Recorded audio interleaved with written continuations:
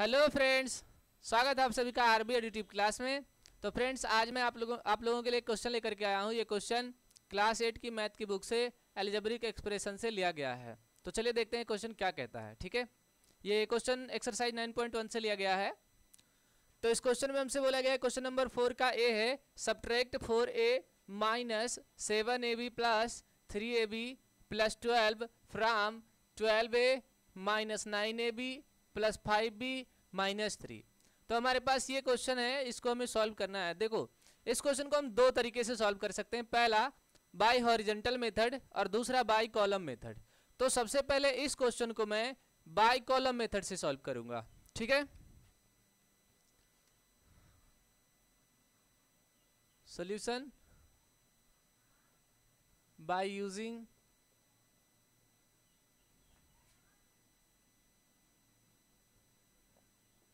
column method, ठीक है? तो कॉलम मेथड में क्या होता है कि आपको सबसे पहले किसी को ऊपर लिखना पड़ता है, ऐसे, ठीक है? फिर उसके नीचे किसी को लिख करके माइनस करना रहता है। तो अभी मैं आपको बताऊँ कि अगर ऐसा कोई क्वेश्चन आया है जिसमें फ्राम शब्द आया है, ऐसा कोई क्वेश्चन आया है जिसमें फ्राम शब्द आया है और हमें सब्ट्रैक्शन करना है तो उस केस में ये जो फ्राम के बाद वाला चीज़ होता है ना, फ्राम के बाद वाला, आफ्टर वाला, इसको हम ऊपर लिखते हैं, ठीक है? इसको कहाँ पे लिखते हैं? इसको हम टॉप में लिखते हैं। बहुत सारे स्टूडेंट यहीं पे गलती करते हैं। स्टूडेंट इसको पहले लिख देते हैं और उसको नीचे लिख देते हैं। तो ऐसा नहीं है। अगर फ्रॉम लिखा है तो उसका कहना यह है कि इसमें से ये वाला सब्ट्रैक्ट करो, ठीक है?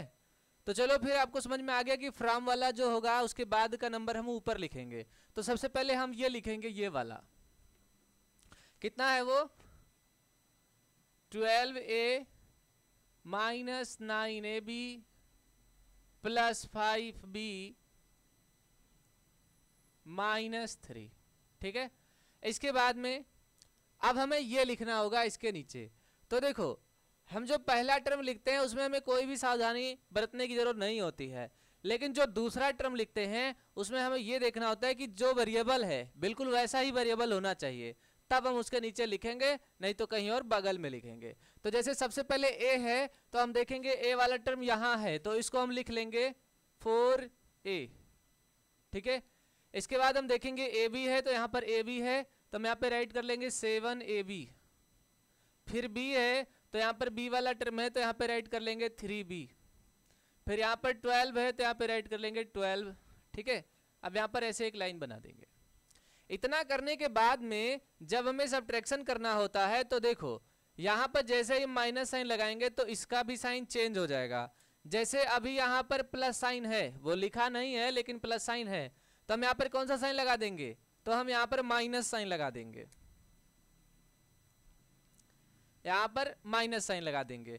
मतलब साइन बदल देते हैं। पॉजिटिव है तो नेगेटिव कर देंगे नेगेटिव है तो पॉजिटिव कर देंगे।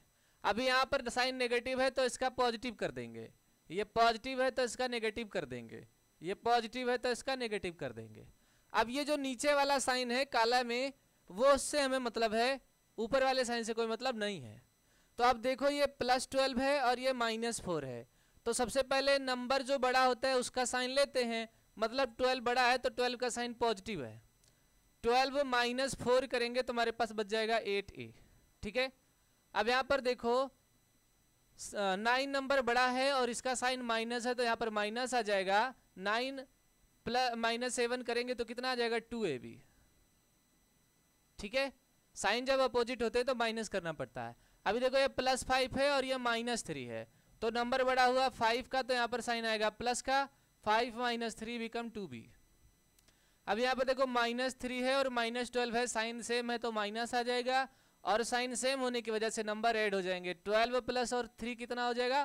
फिफ्टीन तो इस प्रकार से जो हमारा आंसर आएगा, वो आएगा ये। Eight a minus two a b plus two b minus fifteen अब जिन स्टूडेंट को कॉलम मेथड अच्छा लगता है, वो इससे कर सकते हैं। नहीं तो फिर मैं दूसरा तरीका बताता हूँ बाय हॉरिजेंटल मेथड जिनको हॉरिजेंटल मेथड अच्छा लगेगा, वो हॉरिजेंटल मेथड से कर सकते हैं। So second method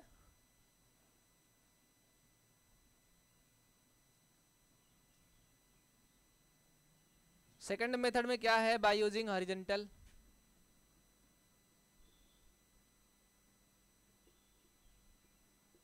by horizontal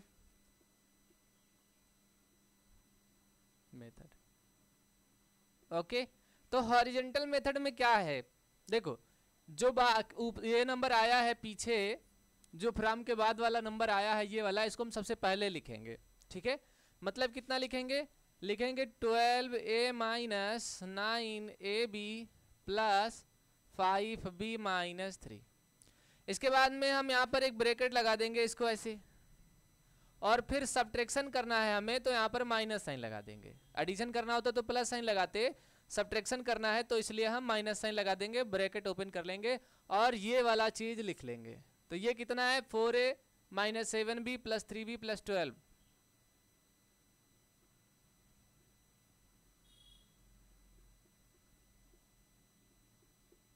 और ये ऐसे क्लोज कर देंगे। अब होगा क्या? ब्रेकेट ओपन होगा। तो ये वाला जो प्लस के साथ होता है एज इट इज़ ऐसे ही राइट कर लीजिए। मतलब twelve a minus nine a b plus five b minus three लेकिन जो माइनस के बाद का नंबर होता है, उन सबके साइन बदलते हैं। क्यों बदलते हैं? माइनस ब्रेकेट के अंदर जाएगा, सबके साथ मल्टीप्लाई होगा। तो जब ये माइनस इस प्लस के साथ मल्टीप्लाई होगा तो माइनस इंटू प्लस माइनस फिर ये जो माइनस है, इस माइनस के साथ मल्टीप्लाई होगा तो माइनस इंटू माइनस प्लस फिर ये माइनस इस प्लस के साथ मल्टीप्लाई होगा तो माइनस फिर ये माइनस इस प्लस के साथ मल्टीप्लाई होगा तो माइनस मतलब जो प्लस होगा, वो माइनस हो जाएगा, जो माइनस था, वो प्लस हो जाएगा, सबके साइन बदल जाएँगे।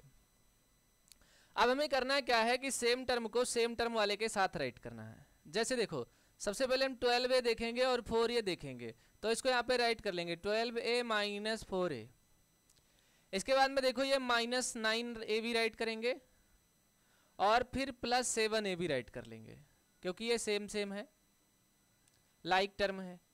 अभी ये प्लस फाइव भी यहाँ पर राइट कर लेंगे और फिर माइनस थ्री भी राइट कर लेंगे, ठीक है? फिर माइनस ये वाला राइट करेंगे माइनस थ्री और माइनस ट्वेल्व है ना? आप चाहो तो ये हटा दो, लेकिन आप पेंसिल मार्क कर सकते हो यहाँ पर, ताकि आप भूलो नहीं कि हमने क्या लिखा है। अब आप देखो, ये दोनों सेम सेम है लाइक टर्म है तो twelve a minus four a become eight a ठीक है? Nine a b plus seven a b minus two a b sign number जिसका बड़ा होगा, उसका साइन लेंगे। Plus five a plus five b और माइनस थ्री बी तो हो जाएगा प्लस टू बी माइनस और माइनस माइनस ही रहेगा ट्वेल्व प्लस थ्री फिफ्टीन तो यहाँ से भी देखो, ये हमारा आंसर आ गया। तो हमने आपको दोनों मेथड से करके बताया है। आपको कौन सा मेथड अच्छा लगा, आप कमेंट करके ज़रूर बताएँ, ठीक है? अब आप दोनों तरीके से कर सकते हैं, करना आपको कोई एक ही होगा, चाहे आप ये कर लें, चाहे आप ये कर लें, ठीक है? तो इसको आप नोट डाउन कर लीजिए। तो उम्मीद करता हूँ कि इस वीडियो में आप लोगों को समझा पाया होगा। अगर ये वीडियो आप लोगों को हेल्पफुल लगा है तो वीडियो को लाइक करें चैनल को भी सब्सक्राइब करें और अपने दोस्तों को भी शेयर करें। मिलते हैं अगले वीडियो में, तब तक के लिए थैंक यू क्लास